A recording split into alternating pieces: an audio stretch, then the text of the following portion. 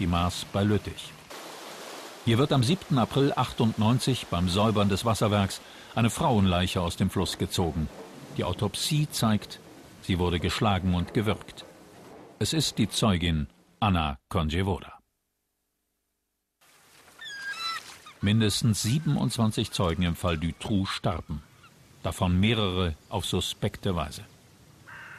Wurde auch Anna Konjevoda umgebracht, weil sie zu viel wusste?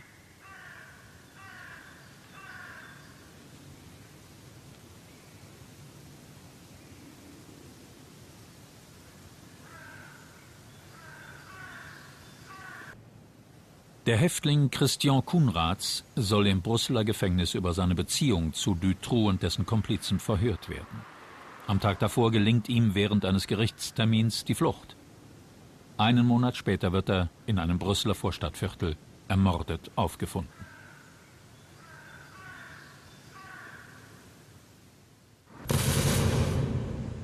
Die Zahnärztin Brigitte Genard war befreundet mit Dutroux Mitangeklagtem, dem Brüsseler Geschäftsmann Michel Nioul. Sie gilt als wichtige Zeugin. Ein Jahr nach dem Beginn der Affäre ist sie tot. Selbstmord heißt es. Hubert Massa ist Oberstaatsanwalt und auf dem Höhepunkt seiner Karriere. Er arbeitet erst seit kurzem am Fall Dutroux. Da findet man ihn erschossen in seinem Büro. Mysteriös die Umstände. Er hat keinen Brief für seine Frau und seine Kinder hinterlassen. Trotzdem entscheidet die Staatsanwaltschaft Selbstmord. Bernard Routemont ist Filmemacher und handelt mit Pornokassetten. Er wird der Entführung eines Mädchens verdächtigt. Es soll eine Verbindung zum Fall Dutroux geben. Außerdem findet man bei einer Hausdurchsuchung Kindersachen und Spielzeug. Nachdem er schon mehrfach ergebnislos verhört wurde, meldet er sich eines Tages telefonisch bei der Polizei. Er möchte auspacken. Auf dem Weg zu diesem Termin rast er mit seinem Auto gegen eine Hauswand. Tot. Rückblick.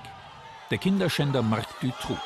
Als er im August 1996 vom Haftgericht ins Gefängnis geführt wird, schreien Schaulustige ihren Hass heraus. Auch sein Helfer Michel Le Lièvre wird verhaftet und seine Frau Michelle Martin. Gelassen lässt sich der als Chef der Bande Verdächtige, der Brüsseler Geschäftsmann Michel Nioul, dem Haftrichter vorführen. Erst nach zweitägigen Verhören war Dutroux bereit, die Ermittler zu einem Kellerverlies zu führen. Hinter einem Regal verbirgt sich der zwei Quadratmeter große Raum, in den er seine Opfer eingesperrt hatte. Bilder aus den Gerichtsakten.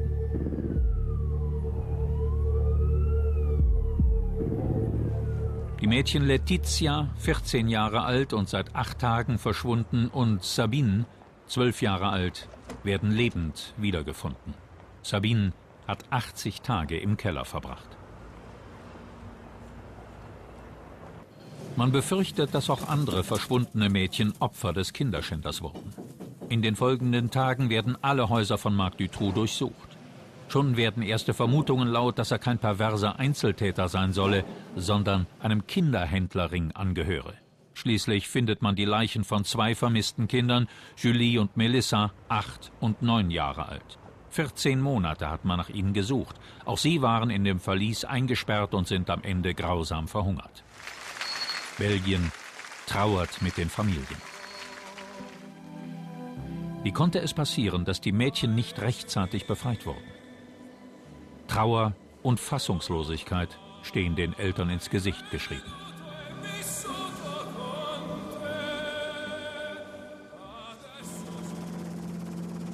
Das Haus eines ermordeten Dutroux-Komplizen wird ebenfalls auf den Kopf gestellt. Dann die Nachricht, die Leichen von zwei weiteren vermissten Mädchen sind gefunden. Evje und Ann.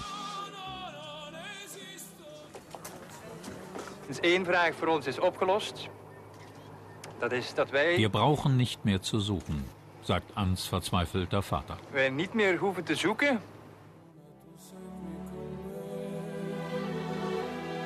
Das schwere Schicksal führt die Eltern der Opfer zusammen. Sie fordern die schonungslose Aufklärung der Verbrechen.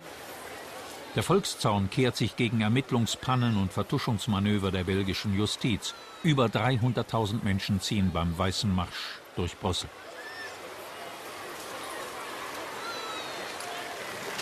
Siebeneinhalb Jahre später, Anfang diesen Jahres im südbelgischen Städtchen Arlon. In einem gepanzerten Fahrzeug werden Dutroux und seine Mitangeklagten zum Prozessbeginn ins Gerichtsgebäude gefahren. Die versammelte Presse belagert den Justizpalast, in dem das Geschworenengericht eine Antwort finden soll auf die Fragen, die jeden beschäftigen. War Dutroux ein perverser Einzeltäter oder entführte er die Mädchen für einen Kinderschänderring? Wurde er von wichtigen und einflussreichen Personen gedeckt? Und welche Rolle spielte Michel Nioul? Wenn er allein war, hätten die Ermittlungen doch schneller zum Ergebnis führen müssen. Aber auf die wesentlichsten Fragen hat man noch immer keine Antwort. Unverständlich für mich, wenn nicht noch mehr dahinter steckt. Wir treffen uns mit jemandem aus der Unterwelt von Charleroi. Er lernte Dutroux im Gefängnis kennen. Es ist nie die Rede davon gewesen, Lösegeld von den Eltern der Mädchen zu verlangen. Die Mädchen waren Handelsware, ganz klar. Da muss man nicht lange grübeln. Es gibt einen ganz klaren Grund dafür. Die Mädchen sind verschwunden. Die Eltern haben gleich gesagt, wenn es ein Vergewaltiger gewesen wäre, hätte man sie wiedergefunden. Der Lebensstil von Dutroux, das Geld und die Häuser, die er besaß. Er hat sich das alles nicht verdient, indem er selber die Mädchen vergewaltigte. Das bringt kein Geld. Bei ihm muss man sich diese eine Frage stellen, woher hatte er das Geld? Von diesen fünf Häusern weiß man, dass sie dem Sozialhilfeempfänger Marc Dutroux gehören. Außerdem hatte er noch einige Garagen und Lagerräume gemietet. Ermittlungen haben ergeben, dass er regelmäßig Aktien kaufte und über mehrere Bankkonten verfügte. Nach der Entführung von Anne und Evje, wie auch nach der Entführung von Sabine, waren darauf große Geldsummen in Bar eingezahlt worden. Woher das Geld kam, weiß man bis heute nicht. In einem von Dutroux Häusern fanden die Ermittler nicht nur größere Mengen Baumaterial, man entdeckte einen unterirdischen Gang, der zu mehreren halbfertigen Kellerverließen führte. Trotzdem hielt der Untersuchungsrichter an seiner These fest, Dutroux habe die Mädchen nur für den eigenen Bedarf entführt. Untersuchungen in Richtung eines Netzwerkes wurden von ihm gar nicht erst begonnen. Und ganz zufällig sterben Leute auf unerklärliche Weise. Sie haben zum Beispiel einen Autounfall, als sie als Zeuge aussagen wollten. Oder man findet sie verbrannt zu Hause. Anscheinend beunruhigt das unsere Justiz nicht. Zum Beispiel. Auf diesem Gelände fand man die Leichen von Anne und Evje. Hier wohnte der Dutroux-Komplize Bernard Weinstein. Dutroux soll seinem früheren Helfer zunächst das Betäubungsmittel Rohypnol gegeben und ihn dann lebendig begraben haben. Man vermutet, dass Weinstein aussteigen wollte. Wurde er deshalb ermordet? Wollte Dutroux verhindern, dass sein Helfer zum gefährlichen Zeugen würde? Weinstein nahm die Antwort mit in dieses fast anonyme Grab. Auf einem anderen Friedhof in Charleroi finden wir das Grab eines weiteren Zeugen. Hier liegt José Stepp. José Stepp war ein Mann aus einfachen Verhältnissen, aber Zeit seines Lebens in ganz Charleroi bekannt. In seinem Viertel galt er als wichtige Vertrauensperson für die Bewohner. Wenn in Charleroi etwas passierte, Stepp wusste es immer. Einige Wochen nach der Verhaftung von Dutroux meldet er sich telefonisch bei einem befreundeten Journalisten und bei der Gendarmerie. Er habe wichtige Informationen über Dutroux. Was er wusste, wird man nicht mehr erfahren. Zwei Tage vor seinem Termin bei der Polizei fällt er plötzlich um. Der Herr hier ist noch dorthin gerannt. Wir haben einen Krankenwagen gerufen, aber es war schon zu spät. Er konnte nicht mehr atmen. Er ist in unseren Armen gestorben. Neben ihm lag sein Beatmungsgerät. Er hatte öfters Atemprobleme, eine Form von Asthma. Das Gerät habe ich selbst gesehen, als ich hierher kam. Sein Sohn hat es mir gezeigt. Innen drin befand sich eine Packung Rohypnol. Rohypnol, von dem Kaspar Naber uns erzählt, ist ein Betäubungsmittel. Es wird niemals in einem Beatmungsgerät benutzt. Aber Dutroux bediente sich mit Vorliebe dieses Mittels, um seine Opfer zu betäuben. Für den zuständigen Staatsanwalt ist Steps Tod unverdächtig. Eine Autopsie wird nie vorgenommen.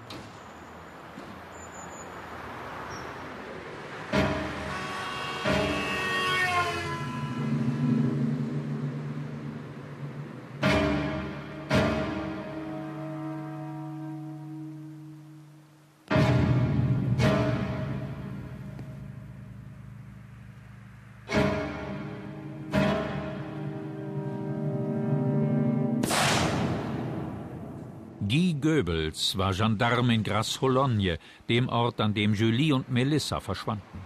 Er arbeitete von Anfang an an dem Fall. Seine Kollegen finden ihn eines Tages tot in seiner Wohnung, mit der Dienstwaffe erschossen. Offiziell beging Guy Goebbels Selbstmord, doch auch hier gibt es Zweifel.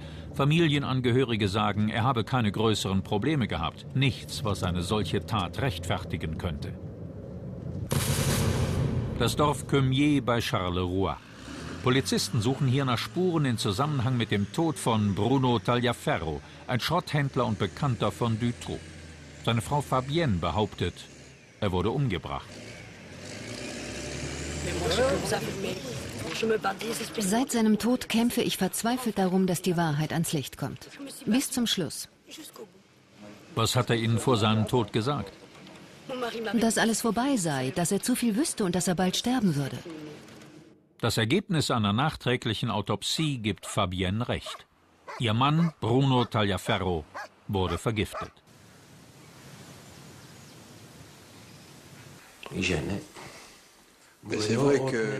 Er war im Weg. Bruno hat Mist gebaut, ich weiß nicht was. Man erpresste ihn mit seinen Kindern und hat ihn krumme Sachen erledigen lassen. Fabienne sagte mir, dass Bruno ein Auto zerlegt hatte, das bei einer Entführung von zwei kleinen Mädchen benutzt worden war. Nichts davon würde man mir wiederfinden. Viel später erst habe ich es geschnallt. Es ging um Julie und Melissa. Dutroux wollte Talia Ferro umbringen lassen. Aber weshalb, sagte er mir nicht. Ihn umbringen? Ja, ihn und seine Frau. Er hat dafür 50.000 belgische Francs und die Waffe geboten. Wann haben Sie das gehört? Ich saß bei Dutroux im Auto. Da hat er es mir gesagt. Als auch Fabienne Jopin bedroht wird, bittet sie vergeblich um Polizeischutz. Sie glaubt, wichtige Unterlagen ihres Mannes entdeckt zu haben. Kurz danach findet ihr Sohn sie tot im Schlafzimmer, halb verbrannt neben ihrem Bett. Die Matratze wurde mit Methanol überschüttet. Die Justiz geht von Selbstmord oder Unfall aus. Wissen Sie, jemand, der sich umbringen will, lässt nicht die Waschmaschine laufen, setzt nicht Kartoffeln mit Salz zum Kochen auf. Auch ein Unfall ist unwahrscheinlich. Auf den Polizeifotos vom Tatort, die wir einsehen konnten, stand die leere Methanolflasche zugeschraubt auf dem Nachttisch.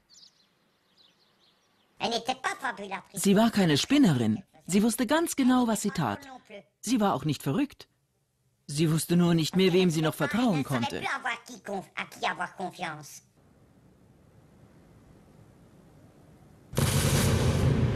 Wir besuchen Zeugin X1. Als die Dutroux-Affäre beginnt, meldet sich Regina Luff, verheiratet, vier Kinder, Besitzerin einer Hundepension, als anonyme Zeugin beim Untersuchungsrichter und bekommt das Aktenzeichen X1. Während der tagelangen Verhöre erzählt sie von grauenvollen Erlebnissen über reiche und mächtige Männer, die bei Sexfeten junge Mädchen vergewaltigen, foltern und manchmal töten. Die Ermittler überprüfen einige ihrer Aussagen und meinen, es gäbe genügend Grund, sie ernst zu nehmen. Ihre Aussage, Dutroux sei Zulieferer und Michel Nioul der Organisator eines Kinderpornorings gewesen. Wel, uh, ik kende Nioul uh, ja, tweede Hälfte von der Jahre 70. Ich kannte Nihul Ende der 70er, Anfang der 80er Jahre. Er hat sich kaum verändert. Sein Äußeres ist gleich geblieben.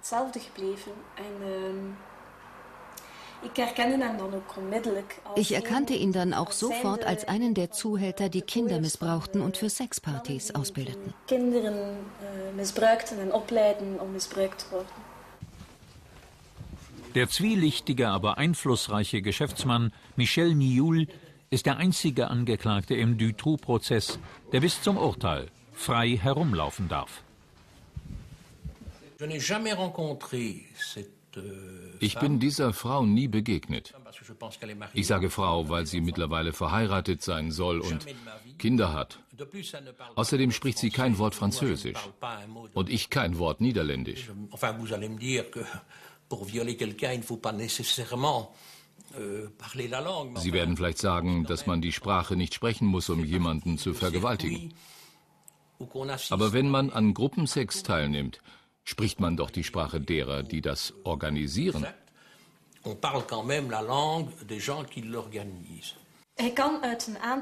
Es gibt eine Sache, um die er nicht mehr herumkommt. Er hat Gruppensex gehabt, ganz klar. Ich sage, dass er auch mit minderjährigen Gruppensex hatte. Es wäre natürlich besonders dumm von ihm, wenn er das jetzt zugeben würde. Diese Frau gehört in eine psychiatrische Einrichtung. Sie wurde auf Bitte der Justiz von einem Team der Universität Löwen untersucht, unter Vorsitz des Professors Igot, der einen guten Ruf auf diesem Gebiet hat. Diese Experten haben bestätigt, dass Regina Luff ohne jeden Zweifel in ihrer Kindheit massivem sexuellen Missbrauch ausgesetzt war. Professor Igot präzisiert, dass es sich lohnt, zu untersuchen, was sie erzählt. Davon sind sie alle überzeugt. Und wenn das, was sie sagt, auch nicht als juristischer Beweis genutzt werden kann, sollte trotzdem aufgrund ihrer Aussagen ermittelt werden. Dennoch beschließt die belgische Justiz, die Aussagen von Regina Luff, Zeugin X1, nicht weiter zu untersuchen. Sie wird für unzurechnungsfähig erklärt. Die Akte geschlossen.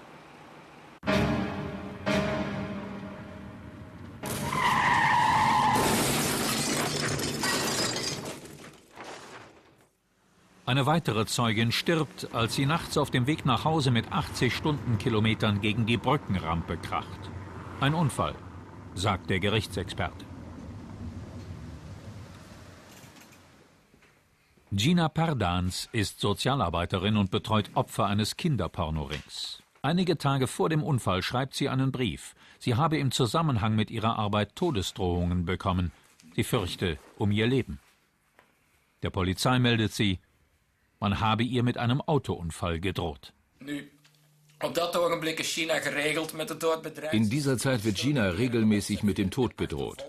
Sie wird beobachtet und verfolgt. Wir stellten auch merkwürdige Probleme an ihrem Telefon fest. Im Zug wurde sie von einem Mann angesprochen, der ihr sagte, dass sie besser mit ihrer Arbeit aufhören sollte. Sonst würde sie nicht mehr lange leben. Zij is te veel bedreigd geworden Sie wurde zu oft bedroht, als dass so ein blöder Autounfall noch einigermaßen glaubwürdig wäre. Für mich ist das ausgeschlossen. Ich glaube, dass böse Absicht im Spiel war. Ich glaube, dass er in Spiel ist gewesen. Absolut. Dass sie umgebracht wurde? Ich glaube, sie wurde ermordet. Vor ihrem Tod erzählte sie Freunden von einem Videoband, auf dem ein Mädchen bei einer Sexfete umgebracht wird. Sie glaubte, einen der Täter erkannt zu haben. Es sei ein Bekannter von Nioul. Zurück nach Charleroi, das Revier von Marc Dutroux. Am Stadtrand wohnt Frau Delin. Auch ihr Sohn Jean-Paul Tamignot wurde umgebracht. Das ist nicht sein Zimmer, als er erwachsen war. Das ist sein Teenagerzimmer aus der Zeit, bevor all das passierte nachdem er seinen Wehrdienst geleistet hatte.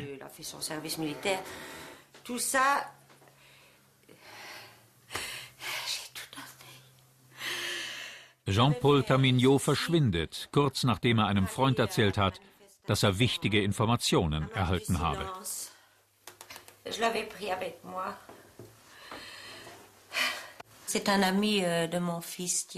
Dieser Freund, der ihn am Tag vor seinem Verschwinden noch gesehen hat, ist einige Wochen später zu mir gekommen. Er sagte, für mich ist er nicht tot, er versteckt sich. Er hat Angst vor irgendetwas. Die Polizei macht ihm Schwierigkeiten. Er hat Angst. Ich will mich kurz fassen. Wenn es keinen privaten Grund gab, dann wurde mein Sohn von denen umgebracht, die Dutroux schützen wollten. In diesem Hinterhof mietete Jean-Paul Tamignot eine Garage. Den Hangar gegenüber nutzte Dutroux für seine illegalen Geschäfte. Fast ein Jahr nach dem Verschwinden fischt ein Angler einen Fuß aus dem Kanal. Es ist der Fuß von Jean-Paul Tamignot. Seine Leiche hat man nie gefunden. Der 28-jährige François Reiskens soll als Zeuge aussagen. Die Gendarmerie will von ihm hören, was er über das verschwundene Mädchen Melissa weiß. Das Verhör findet nie statt. Bahnarbeiter finden seine Leiche neben den Gleisen. Er wurde von einem Zug überfahren.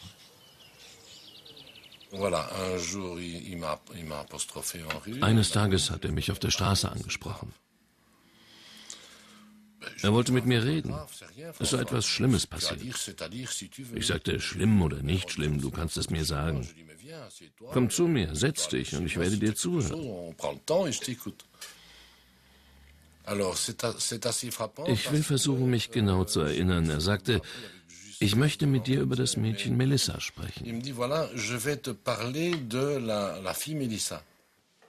François Reiskens Vater hatte eine eher problematische Beziehung zu seinem Sohn, der zur Drogenszene gehörte und den kriminellen Kreisen zu Hause war. Wie konnte François Informationen über Melissa haben, noch bevor die Öffentlichkeit von der Affäre Dutroux wusste? Ich habe nachher zu meinen Freunden gesagt, es sind nicht Leute wie wir, aus unserem Milieu, aus unseren Kreisen, die in einem solchen Fall an Informationen herankommen. Das konnte nur einer wie François sein.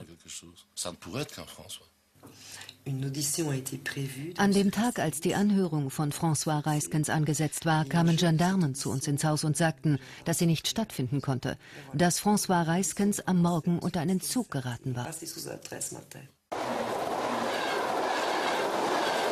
War es wirklich ein Unfall? Ich weiß nicht. Und so wird man wohl niemals erfahren, was François Reiskens genau gesehen hatte.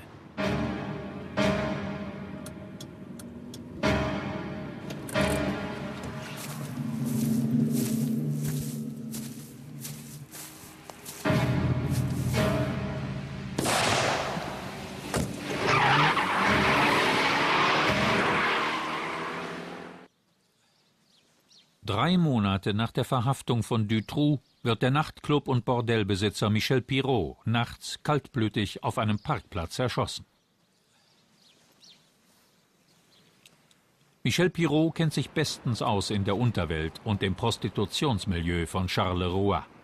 Kurz vor seinem Tod nimmt er Kontakt auf zu den Familien der ermordeten Mädchen Julie und Melissa. Er bittet sie um ein Treffen. Michel wollte einen Abend organisieren und dabei einiges enthüllen. Worum es genau ging, kann ich nicht sagen. Wir wissen es nicht, weil er vorher umgebracht wurde. Wir fahren nach Mons im Süden Belgiens, um uns mit Guy Poncelet zu treffen. Sein Sohn Simon war Polizist und ermittelte im Autoschiebermilieu rund um Dutroux. Er wurde während des Nachtdienstes in seinem Büro erschossen. Der Mord ist bis heute ungeklärt. Vater Poncelet ist ein ehemaliger Oberstaatsanwalt. Seit dem Tod seines Sohnes ist die Aufklärung der Dutroux-Affäre sein Lebensziel. Und er macht sich Sorgen.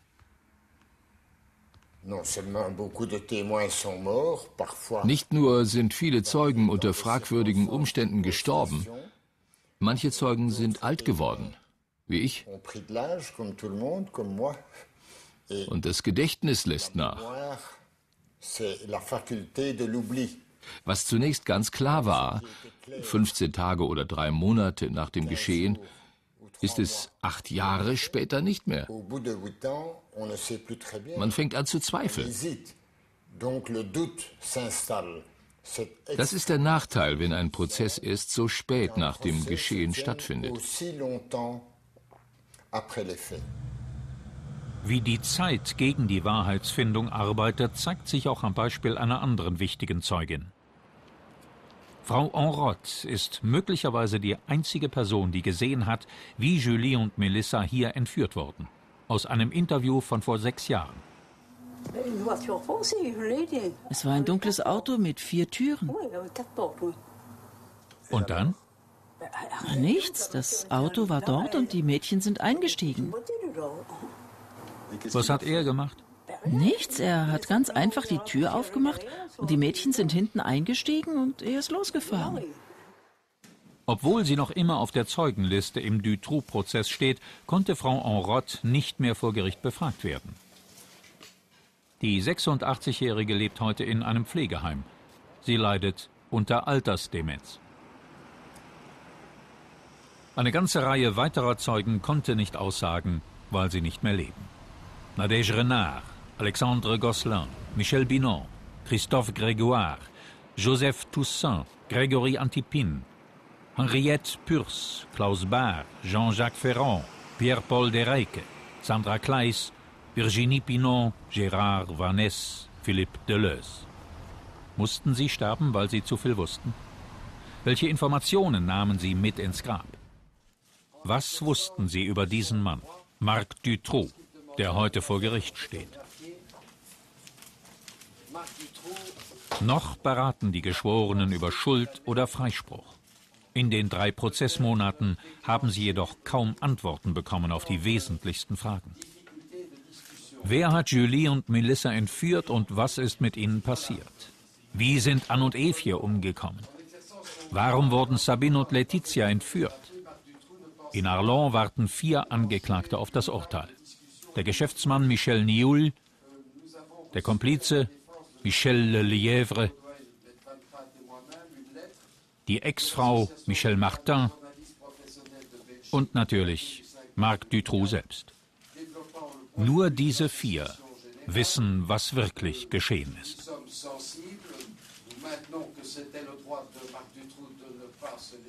Ich habe keine Worte für meine Gefühle.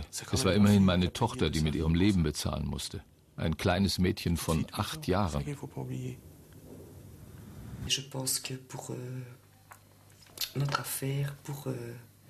In unserem Fall werden wir uns an den Gedanken gewöhnen müssen, dass man die Wahrheit über unsere Töchter wohl niemals erfahren wird.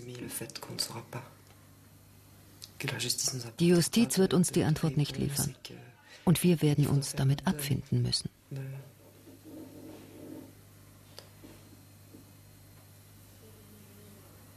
de cette affaire. Ouais.